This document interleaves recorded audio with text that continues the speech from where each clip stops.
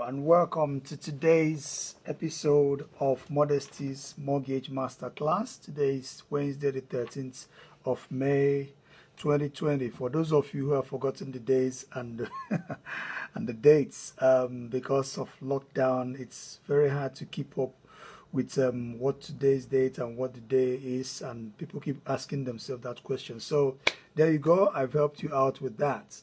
Um, this is session number 11 of our Modesty's Mortgage Masterclass. And today we are continuing with our series, our series on um, types of mortgage borrowers. Yeah, um, last week we, we um, started with uh, personal borrowers, people who borrow for the purpose of buying their residential property or family home or who remortgage their family homes or who even take out a bridging finance to bridge the gap between you know them selling their homes and buying their dream home. We also talked about buy to let um, borrowers and we talked about the difference between normal buy to let and consumer buy to let. So today we are going to be continuing on that series and we're going to be talking more about other types of personal borrowers. But these other types of personal borrowers are a little bit you know different but they still come from the same lineage of um, personal borrowers okay so i remain your man Ikenna Umeizudike i'm the director of modesty financial consultants limited a financial services company based in luton united kingdom specializing in arranging mortgages and advising on investments and financial consulting um, activities and also business loans. So, but before we dive into today's topic, I just want us to want to bring you up to date with what is happening in the in the mortgage market and the property market um, extensively. Now, the biggest news at the moment is the excitement of um, estate agents and letting agents who have been allowed to get back to work. Kene, how are you? Welcome. I can see you. Um, estate agents and letting agents have been asked to go back to work by the UK government. And there is euphoria all over the place, and there is excitement everywhere because it means the property sector can gradually start getting back you know, um, into the mainstream of things. And it's all in a bit of the government to uh, kickstart the economy once again.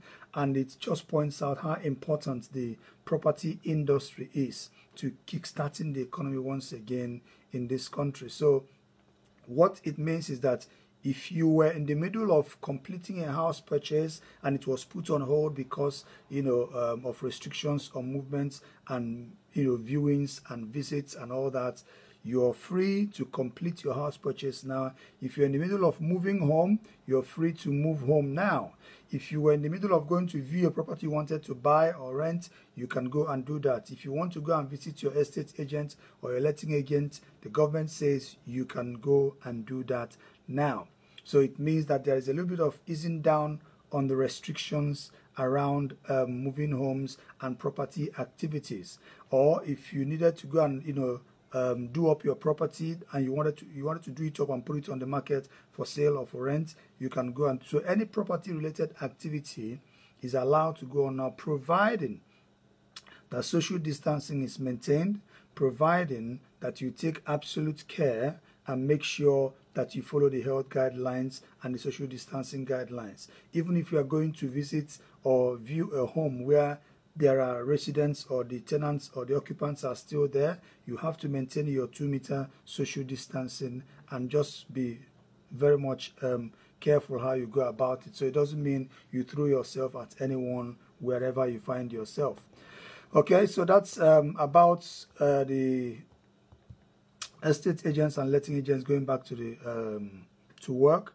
The other update I want to bring to you today is about um, you know the rumor in the in the uh, housing sector around the possibility of extending the mortgage holidays to about 12 to 18 months. This is just a rumor basically. It's um, that that report came up on the mortgage strategy which is um, a reliable and trustworthy mortgage media outfit. Um, the, there are rumors that the fca the financial conduct authority uh, considering extending the mortgage repayment holidays to between 12 to 18 months, but nothing has been concluded yet. The idea behind that is to help um, people who are struggling financially, who have got mortgages to pay, so that they can get more a longer payment holidays until they get back on their feet, until they get back to work, until their finances um, come back to what it used to be. Linda, you're welcome. I can see you.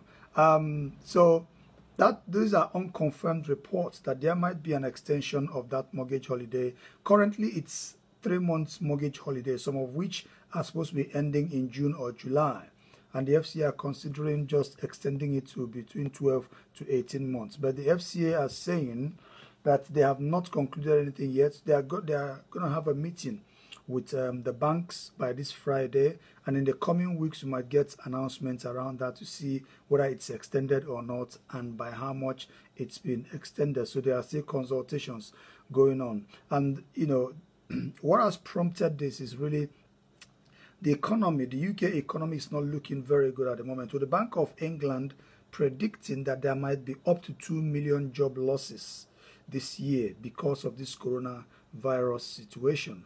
And uh, just today, the Chancellor Rishi, Rishi Sunak um, said that the UK is looks like it's heading to a very, very um, serious uh, recession at the moment because the most recent um, statistics coming out now so shows that the UK economy shrunk by 2% in the first quarter of this year.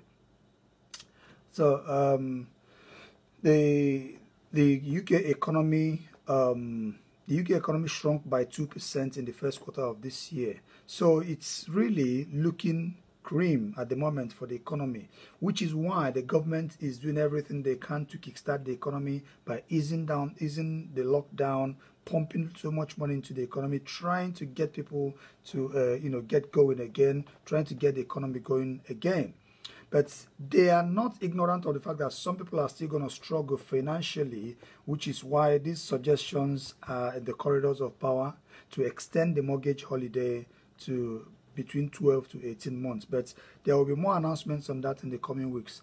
Okay, thanks for that information that Canada's mortgage delay of up to six months is real there in Canada. So it looks like um, other economies are also helping out mortgage payments and mortgage borrowers. So the, um, the Western economies are all in this together and everybody's doing what they can to help people who are struggling financially. So it's good to know about what's going on in Canada. Thanks, Kenneth, for that information.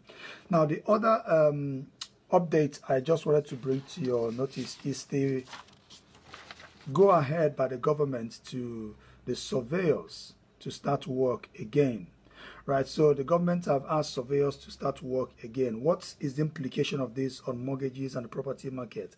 It simply means that activities can start going on again in people's homes, not just surveyors, but people like plumbers and gas and electric gas engineers and electricians. They are all allowed to go into people's homes now and carry out essential repairs and do things that they need to do. Most significantly, uh, the surveyor part of it because of its impact on mortgages and the property market. Because the reason a lot of lenders pulled their products from the market was because there was shortage uh, because of the restrictions on visiting people's homes. So they couldn't carry out physical valuations or surveys of properties. And a lot of the mortgages that they are going to give out is based on physical valuation of those properties. And because of those restrictions, surveyors couldn't go out and physically survey properties and bring back reports on whether those properties are good enough as security for those mortgages or not. So for properties that needed physical valuation and for mortgages that needed physical valuation, lenders pulled such mortgage products out of the market pending when surveyors can go out again. Some people were caught up in that because they were in the middle of doing that before the lockdown and before those restrictions were put in place. But now the government says surveyors can go out again and work. So it basically means that if you were in the middle of completing a house purchase or a mortgage deal, and it was stalled because of um, restrictions on surveyors going out, it means the, the deal can go ahead again. You can kickstart it again, and then you know, um, surveyors can now go and physically survey properties. But I reckon that there might be a lot of backlogs, you know, to catch up with. And the implication of this also is that some of those mortgage products that were withdrawn by lenders would now be brought back to the market. In fact, we're already seeing, you know, lenders coming back to the market in full with all their mortgage products now back to the market. And some lenders who have stopped receiving uh, new applications are now beginning to accept new applications once again. So it looks like there are you know some positive movements in the mortgage market at the mo moment in terms of activities borrowings and you know activities from lenders and from borrowers so it's looking good at the moment because the, the restrictions are being eased and people can you know get get on with their mortgage deals and their property activities. Okay so that's it you know basically what i wanted to bring to your notice as per updates on the mortgage market and the properties market. And now let us dive straight into today's topic. Continuing with the types of borrowers that we started discussing last week Okay, so today we're going to be talking about high net worth um, borrowers. You see, high net worth borrowers, who are high net worth borrowers and how, you know, um, what are their implications as per their relationships with the lenders and brokers. Now, you are a high net worth borrower if as defined by the Financial Conduct Authority by the FCA, if you have a minimum net income of 300,000 pounds or minimum net assets of 3 million pounds. Minimum net income of 300,000 pounds and minimum net assets of 3 million pounds. That places you in the category of high net worth mortgage customer or mortgage borrower. Now, the key word here is the net. So your net income, which is the income after taxes, what you've earned after taxes, has to be 300,000 pounds or more or your net assets, which means your total assets less your liabilities, has to be at 3 million pounds or more for you to be classified as a high net worth customer. Now, if you are making joint application as a high net worth uh, customer, one of you, if, if it's you know two or more applicants in the mortgage application, one of you will have to meet that criteria on their own. So it's not a case of you or and your spouse, your joint income is 300,000 pounds net, and then you say you're a high net worth customer. No, one of you or one of the applicants will have to meet that criteria on their own merits. So it's not a case of joint assets or joint income for you to be considered a high net worth individual yeah, a high net worth customer. And if you have, um, you know, sometimes people who want to take out mortgages may not meet um, the criteria for those mortgages, they might need a guarantor. Somebody might need to guarantee that mortgage. So if you have a guarantor who meets that criteria of high net worth customer, high net worth borrower, you can be considered a high net worth customer by virtue of the fact that your guarantor is in that category. Right. Now, a borrower under this category or a borrower who meets this criteria enjoys some flexibility with lenders.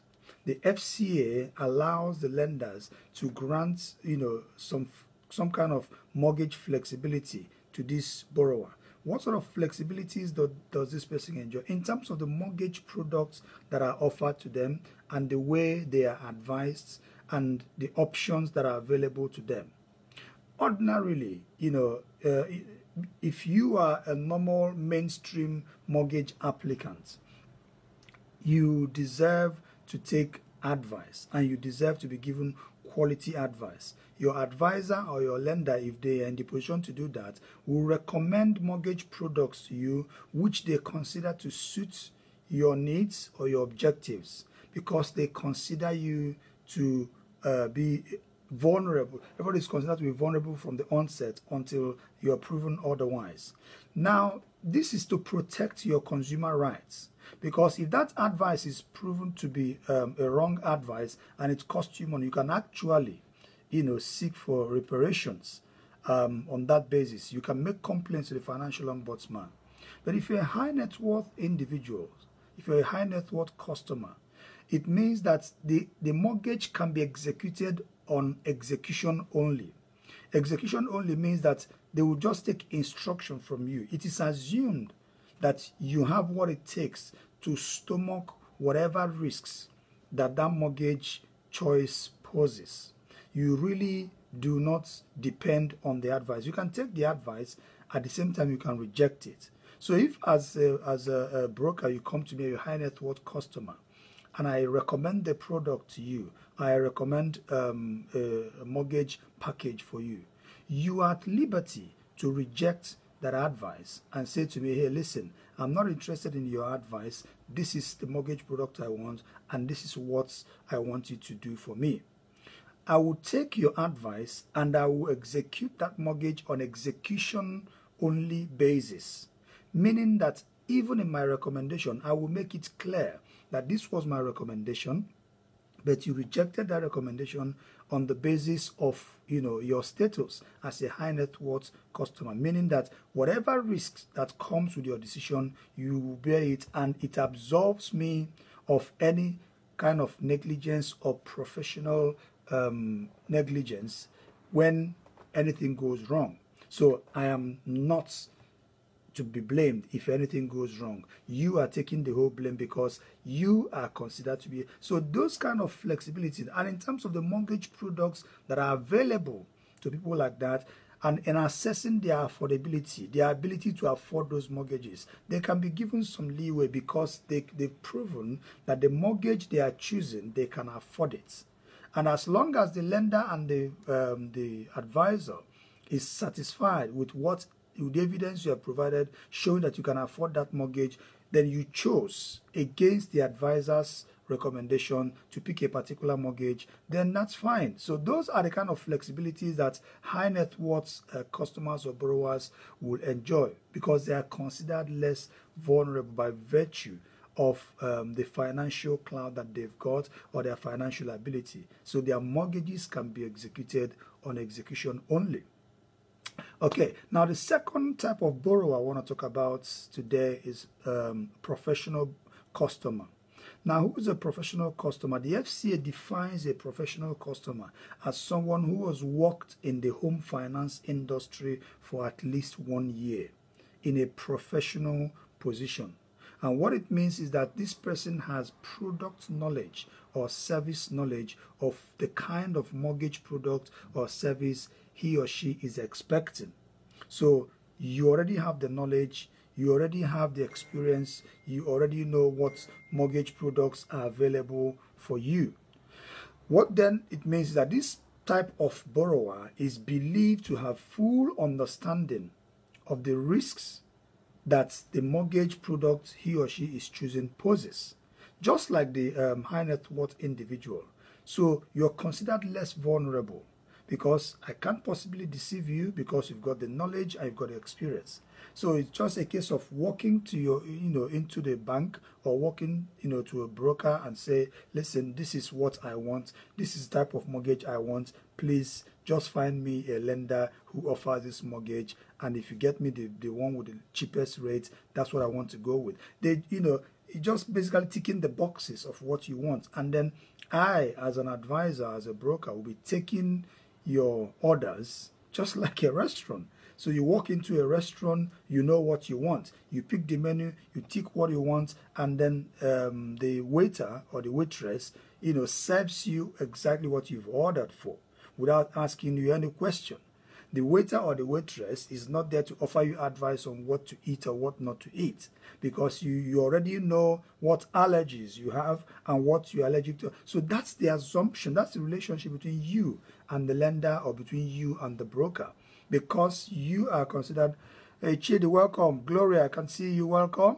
So you and the broker have that relationship is based on the fact that you are a professional and you know exactly what you are looking for. So you are not considered a vulnerable client. So if anything goes wrong, because you've waived um, the advice and your right to advice and complaint on the fact that you just want this and that's what you want, the um, the advisor or the lender is not um, culpable of any wrong advice because it's on execution only. So execution only mortgages are applicable to uh, borrowers of certain categories and certain classes. And professional customers and high net worth individuals are some of the categories of borrowers that execution only mortgages can apply because of virtue of the position they occupy or their experience. Right. So the other type of borrower I want to talk about today is a personal representative. Now, personal representatives are people who um, act on behalf of um, or who act in managing a deceased person's um, estate. A deceased person, like a dead person, if somebody dies, somebody will become a personal representative acting on their behalf to manage their estates. So in this case, these people, these kind of people are called executors. Now, these executors, they are called executors if the dead person of the deceased left a will. If the deceased uh, did not leave a will, they are just called administrators. And then they, those administrators are authorized by certain documents, you know, authorizing them to become administrators. But even if the deceased left a will, as an executor, it is still by grant of probate that you will be able to act as an executor to execute that will. So there will still be a process called a probate, probate process that enables you to act on behalf of the person who has died. Now, a probate is a, is, is a legal process, you know, that basically authenticates um, so your position or as an executor or your position as a representative to execute the will of a dead person. That same process called probate is what is a legal process that is used in administering the assets, the possessions, and the properties or estates of a dead person in terms of inheritance, distributing it according to the person's will. So, will is a very, very important word in the, in all this. Without a will, you know, it becomes a little bit difficult. But with a will, the moment you are named as an executor in the will, all it takes is for the probate period, uh, for the probate process to be concluded by um, a legal practitioner or a solicitor.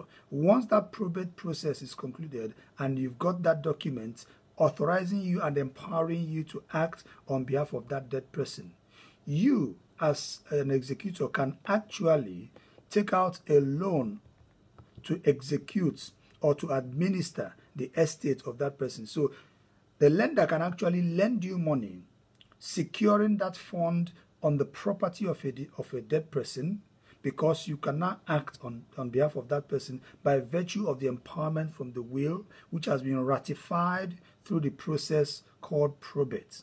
So you can actually take out a mortgage on uh, you know secured on the on this dead person's uh, property to maybe execute that will if there is fund required or if you need to take out a loan to buy a property for a dependent of the deceased person as an executor as an a, as a personal representative of the deceased you can do that for example if the person left a minor who is a dependent of the person and that minor you know, is not yet up to a, a contractable age. So it's not yet up to the age where they can enter into a valid contract. As a personal representative, you can actually arrange a mortgage to buy a house for that deceased uh, person's dependents if they need to buy a house for them. So that's where the relationship between the executor or personal representative and the lender lies. And then if you come to a broker or an, an advisor like myself, and you are a personal representative, we can deal with you as long as we can verify the authenticity of your status as the executor, as a personal representative, and we can arrange a mortgage on behalf of that deceased person's dependent or on behalf of the uh, secured against the deceased person's um, asset, in this case, a property. So that's probate uh, process grants you the power to be able to do that. Now, the lender will not have a problem in uh, lending you money as long as that process has been completed.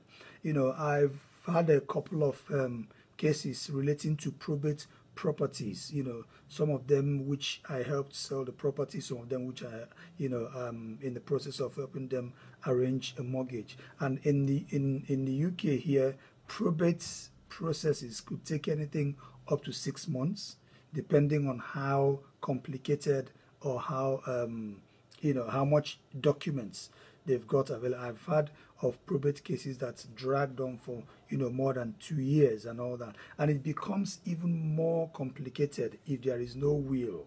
If the person died without a will it becomes more complicated because then the process is, is a lot longer. Nobody knows what the dead person wanted to do or to achieve with their properties and then in the absence of a will you know there are all sorts of permutations and all sorts of uh, chaotic situations that need to be ratified before anything is actually um, agreed upon. So it makes it very important for you as an individual to consider making a will make it you know consider it seriously because it saves you know your loved ones a lot of stress when you're not there and the will spells out exactly how you want your estate to be administered who you want to administer it. Your estate might actually fall into the wrong hands when you're no longer there. It's scary, you know, for you to know that somebody who you were not even talking to when you were alive might actually, in the event of, you know, um, the scheme of things, end up being the person who's going to be executing um, your your will or your property and distributing your assets and administering you know your assets and your possessions. You know i'm sure you'll be turning in your grave wherever you are. So if you want any of those to be prevented you better go and make a will. It doesn't cost that much to make a will. Very simple will. It's just a statement of you know your intentions and what you want to happen if you are no longer there it takes, you know, uh, it doesn't take long, doesn't cost much to do a simple will. It will save you all that stress. So that in the event you, uh, I mean, where in this, where we find ourselves today with the coronavirus and all that, a lot of people have died. In the UK alone, over 30 something thousand people have died. Now, among those 30 something thousand people, if you look at the ages of people who have died and whether they are up to a contractable age or not, some of them who are up to the age of, um, who have got properties and possessions, who died without a will. Imagine the chaos that will be going on in the family and people fighting over properties, who owns what and who doesn't own what. It will end up in court and then it will drag on for ages and for years. And as that drags on, who's going to be paying the mortgages? All these bills were piling up. By the time they are done, with the fighting and the infighting and all the chaos, and then the the um, the estate is finally settled and the administration now comes. First of all, every bill that is owed on that estate has to be settled first of all before you even find out what belongs to you or what you're entitled to.